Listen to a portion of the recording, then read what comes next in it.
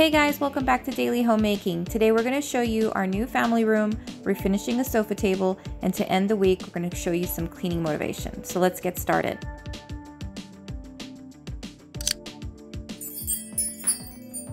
So let's start with the family room. We explained in a previous video that we had no choice of upgrading our family room wall because of the tiles that fell off and we found some electrical issues. So here is a picture before.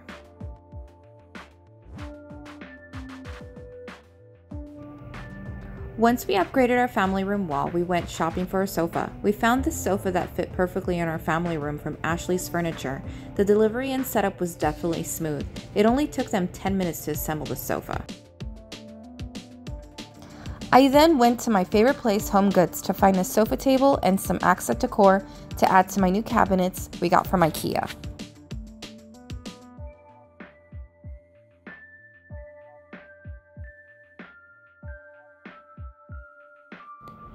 I found this awesome sofa table. It didn't really match my room, but I knew how to refinish it. So I went ahead and I disassembled the table and I sanded the tops and painted them with a white painted finish. I kind of made it a rustic look.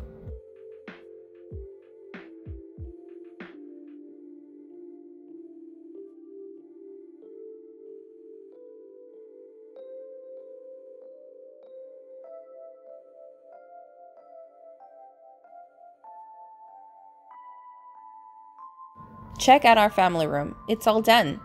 Tell me your thoughts if we need to add some more color. Um, but I like it this way. I like it really clean and white, a little accent of a blue.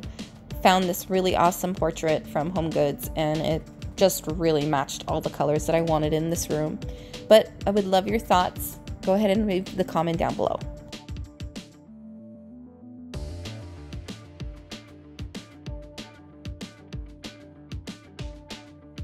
Now let's finish with some cleaning motivation. Have a great weekend, guys.